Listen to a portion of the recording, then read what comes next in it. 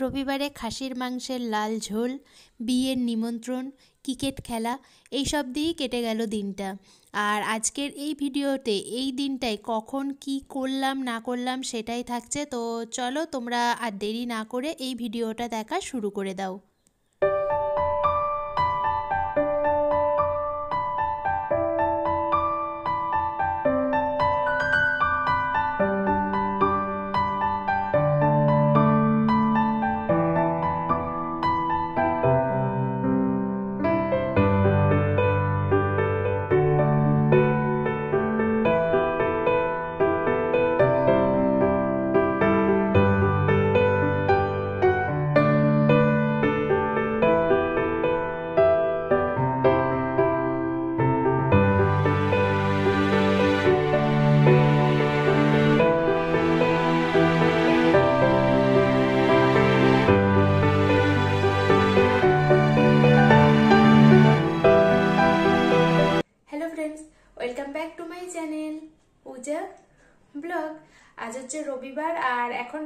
হয়েছে এগারোটা। পুরো এগারোটা, এখন থেকে আমি আমার এই ভিডিওটি শুরু করছি। আর আজকে যেহেতু রবিবার রবিবার মানেই হচ্ছে ছুটির দিন। ভালো মন্দ রান্নাবান্না করে খাওয়া দাওয়া করা, কোথাও ঘুরতে যাওয়া, নিজের মতো করে কিছুটা সময় কাটানো স্পেশালি আজকের দিনটা স্পেশালভাবে কাটানো। তো আজকের এই স্পেশাল দিনটা স্পেশাল করে তুলতে তুতুল বাজার থেকে নিয়ে এসেছে খাসির মাংস। আজকে দুপুরে রান্না হবে খাসির মাংস মাটন রেড কারি খাসির মাংসের লাল ঝোল রান্না করব আজকে। তো দেখি খাসির মাংসের লাল ঝোলের লাল কালারটা আনতে পারি কিনা। তো চলো তোমরা আগেতে ভিডিওটা দেখতে থাকো আমি ততক্ষণে মাংসটাকে ম্যারিনেট করে নিই। তো এখানে আমি মাংসটা নিয়ে নিয়েছি ম্যারিনেট করার জন্য। তো চলো এবারে আমি মাংসটাকে ম্যারিনেট করে নিই। আর আজকের মাংসের সাইজগুলো ঠিক এই রকম রেখেছি। একটু বড় সাইজেরই রেখেছি। তো এখানে কেজি খানেকের মতন মাংস রয়েছে। এবারে আমি এই মাংসটাকে ম্যারিনেট করে নেব। আর মাংসটা ধুয়ে পরিষ্কার করে আমি এই জায়গাটাতেই রেখেছি। এই জায়গাটাতেই মাংসটাকে ম্যারিনেট করব। তো তাই জন্যই এই জায়গাটাতেই একবারে নিয়ে নিয়েছি মাংসটাকে। তো চলো এবারে আমি মাংসটা ম্যারিনেট করে নেব। আর মাংসটা ম্যারিনেট করার জন্য এখানে মিক্সার জারের মধ্যে আমি একটা পেস্টও বানিয়ে নিয়েছি। এই পেস্টটার মধ্যে আমি দিয়েছি আদা, রসুন, শুকনো লঙ্কা, পেঁয়াজ, তো সবটাই দিয়ে এখানেতে একত্রে আমি একটা পেস্ট বানিয়ে রেখে দিয়েছি। তো এই পেস্টটা থেকেই আমি কিছুটা পেস্ট এখন এই মাংসটা ম্যারিনেট করার জন্য দেব মানে মাংসটার ওপরেতে দেব। আর কিছুটা পেস্ট আমি রেখে দেব মাংসটা যখন রান্না করব, তো তখন আমি দেব। তো এখান থেকে আমি দু চামচের মতন পেস্ট মাংসের ওপরে নিয়ে নিলাম। আর একটুখানি নেব, হাফ চামচের মতন আর নেব, নিয়ে মাংসটাকে আমি ম্যারিনেট করব। তো বাস এটাই যথেষ্ট, এটাতেই হয়ে যাবে। তো এখানেতে আমি এই পেস্টটা নিয়ে নিলাম আর এর সাথেই আমি যেগুলো নেব, তো চলো এবারে নিয়ে নিই। এখানেতে আমি নিচ্ছি কিছুটা হলুদ গুঁড়ো। তো এখানেতে দিয়ে দিচ্ছি আমি হলুদ গুঁড়ো আর এর সাথেই আমি নেব লবণ। তো এখানেতে আমি স্বাদ মতো লবণ দিয়ে দিচ্ছি। আরও একটু লবণ লাগবে, তো এখানেতে আমি আরও একটু লবণ দিয়ে দিলাম।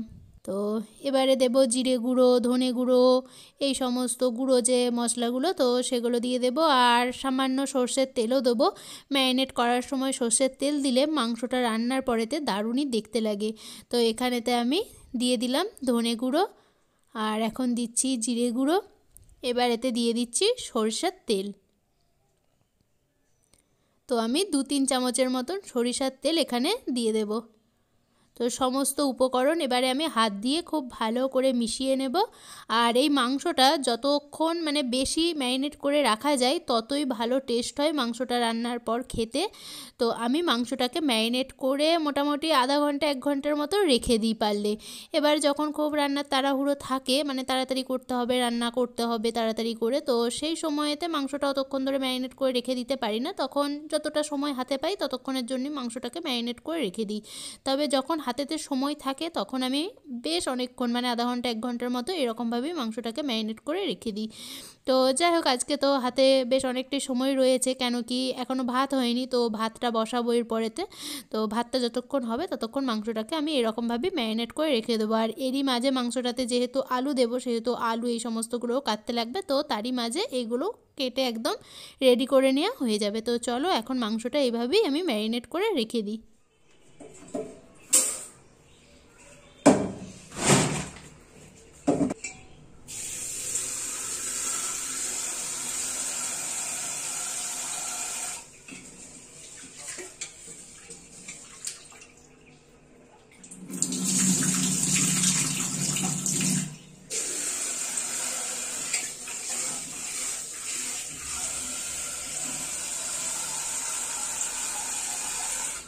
ওইদিকেতে তো মাংসটা ম্যারিনেট করে নেওয়া হয়ে গেছে, এবারে এইদিকেতে আমি ভাতটা বসিয়ে দিচ্ছি। ভাতটা বসিয়ে দেব, ভাতটা যতক্ষণে হবে ততক্ষণে মাংসটা তো ম্যারিনেট করে রাখা থাকবে। তারপরে ভাতটা হয়ে গেলে ভাতটা নামিয়ে দিয়ে ওইদিকেতে মাংসটা আমি বসিয়ে দেবো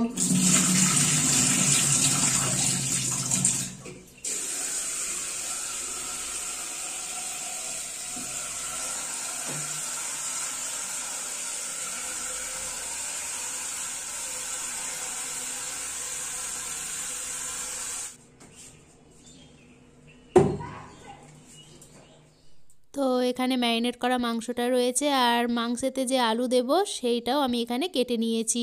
এবারে এই আলুটাকে আমি ম্যারিনেট করে নেব আর আলুটা ম্যারিনেট করার জন্য এখানে নিয়ে নিচ্ছি হলুদ গুঁড়ো আর এর সাথেই নিচ্ছি লবণ। লবণ আর হলুদ গুঁড়ো দিয়ে ভালো করে আলুটা মাখিয়ে নেব।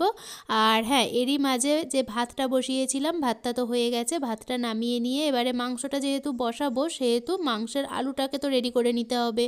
তো তারই জন্য এখানে মাংসের আলুটাকে রেডি করে নিচ্ছি এখন। লবণ আর হলুদ গুঁড়ো মাখিয়ে, তো এখানে লবণ আর হলুদ গুঁড়ো মাখিয়ে নেওয়া হয়ে গেছে আলুগুলোতে। এবারে আলুগুলো আমি এখানে ভেজে নিচ্ছি। লাল করে আলুগুলো ভেজেও নেওয়া হয়ে গেছে আমার। তো এবারেতে আমি অন্যদিকে একটা কড়াই বসিয়ে দিয়েছি, আর কড়াইয়ের মধ্যে নিয়ে নিয়েছি কিছুটা তেল, আর তেলের মধ্যে দিয়ে দিয়েছি আমি ফোড়ন। এবারে আমি দিচ্ছি পেঁয়াজ কুচি। তো এখানেতে আমি বেশ অনেকটা পরিমাণে পেঁয়াজ কুচি দিয়ে দিলাম। এবারে পেঁয়াজ কুচিটা খুব ভালো করে নাড়াচাড়া করে ভেজে নিতে হবে। আর পেঁয়াজ কুচিটা ভাজা হয়ে গেলে আমি দিয়ে দেব এর মধ্যে টমেটো কুচি। আর টমেটো কুচিটা সফট হয়ে এলে আমি এর মধ্যে দিয়ে দেব মিক্সার জারের মধ্যে যে পেস্টটা রেখেছিলাম, ম্যারিনেট করার সময়তে তো আমি কিছুটা পেস্ট ম্যারিনেট করার সময়ে মাংসটাতে দিয়েছিলাম। আর কিছুটা পেস্ট আমি মিক্সার জারের মধ্যেই রেখে দিয়েছিলাম না? তো ওই পেস্টটা এর মধ্যে দিয়ে দেব। তো এখানেতে আমার মশলাটা ভালো করে কষিয়ে নেওয়া হয়ে গেছে। মশলাটা থেকে দেখতেই পাচ্ছ যে এখন তেলও ছেড়ে এসেছে। তো এবারে আমি এর মধ্যে দিয়ে দেব মাংস। ম্যারিনেট করে রাখা মাংসটা আমি এর মধ্যে সবটাই দিয়ে দিচ্ছি। তো খুব সাবধানে দিয়ে দিলাম মাংসটা। তো এখানে আমার পুরো মাংসটাই দিয়ে নেওয়া হয়ে গেছে। তো এবারে হাতে সময় নিয়ে বেশ ভালো করে মাংসটা কষাতে হবে। তো আজকে আর কড়াতে আমি পুরো মাংসটাই রান্না করব না। এমনিতে তো কড়াতেও মাংসটা রান্না করা যায়, কিন্তু আজকে হাতেতে আর সেরকম সময় নেই, কারণ ওইদিকেতে অনেক জামা কাপড়ও ভেজানো রয়েছে। তো সেই সমস্ত জামা কাপড় ওগুলোও কাচতে লাগবে। তো তারই জন্য তাড়াতাড়ি করে যেহেতু রান্নাটা করতে লাগবে, সেহেতু আর কড়াটাতেই মানে কড়াতেই পুরো মাংসটা কষাবো না। তো মাংসটা আমি কিছুটা কড়াতে কষাবো আর কিছুটা আমি প্রেশার কুকারে দিয়ে সেদ্ধ করে নেব। তো এখানে আমি বেশ কিছুক্ষণ ধরে মাংসটা কষিয়ে নিয়েছি। তো দেখতেই পাচ্ছ এখন মাংসটাও বেশ ভালো করে কষানো হয়ে গেছে কড়াইয়ের মধ্যে। এবারে আমি মাংসটাকে কুকারের মধ্যে ট্রান্সফার করে দেবো। তো এখানেতে আমি কুকারও নিয়ে নিয়েছি। এবারে আমি এই কুকারের মধ্যে মাংসটা ঢেলে দেবো।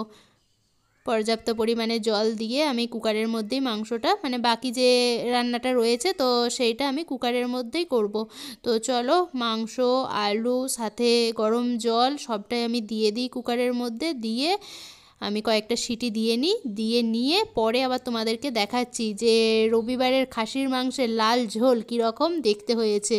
তো এখন আমি কাপড় জামা কেচে সান সেরে, পুজো সেরে এখানেতে মাংসটা নামিয়েও নিয়েছি কুকার থেকে এই জায়গাটাতে। তো দেখতেই পাচ্ছ যে খাসির মাংসের লাল ঝোল লাল হয়েছে কি না তো সেটা তোমরা অবশ্যই কমেন্ট বক্সে কমেন্ট করে জানাবে যে খাসির মাংসের লাল ঝোল লাল লাল দেখতে হয়েছে কি না কীরকম দেখতে লাগছে, না লাগছে, সেটা সবটাই তোমরা আমাকে কমেন্ট বক্সে কমেন্ট করে জানাবে। তো এই হচ্ছে আমার আজকে রবিবারের খাসির মাংসের লাল ঝোল। তো চলো গরম গরম এই খাসির মাংসের ঝোল দিয়ে গরম গরম ভাত খেতে তো দারুণই লাগবে। যদিও ভাতটা আগে করেছিলাম, ভাতটা কিছুটা তো ঠান্ডা হয়েই গেছে, কিন্তু ঝোলটা গরম রয়েছে। তো চলো এই ঝোল দিয়ে আগে ভাতটা খেয়ে নিই, খেয়ে নিয়ে আবারও তোমাদের সাথে খেয়ে দিয়ে পরে আমি কথা বলছি।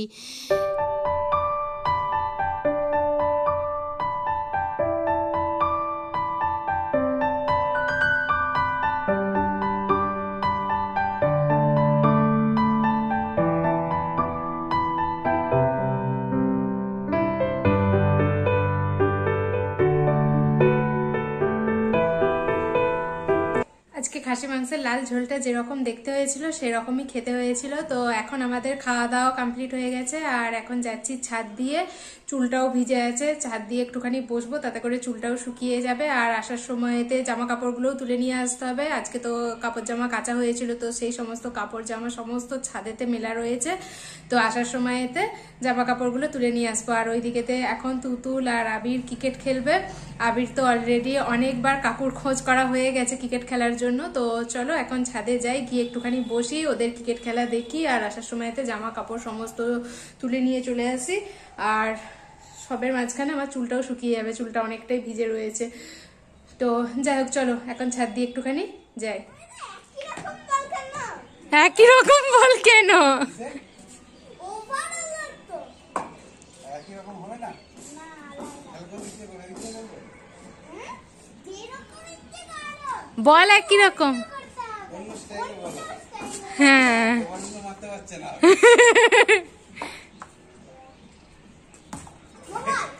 নো বল হাত ঘুরিয়ে না করলে নো বল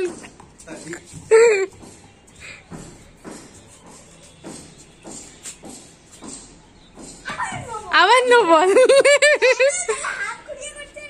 এই হাত ঘুরিয়ে হাত ঘুরিয়ে হয় না তো? তাহলে সব নো বল তাহলে সব নো বল এটা কি হবে জানিস? হাত ঘুরিয়ে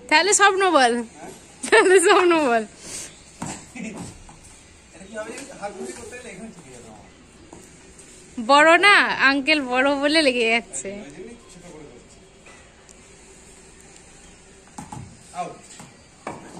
আউট খেলা একদম জমে উঠেছে।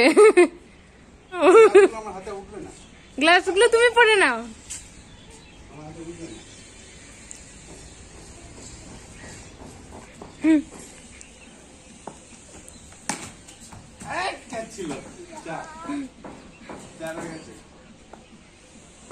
তাহলে আবিরের কত রান হয়েছিল? আবিরের কত রান হয়েছে? দশ হয়ে গেছে। আমার চার হয়েছে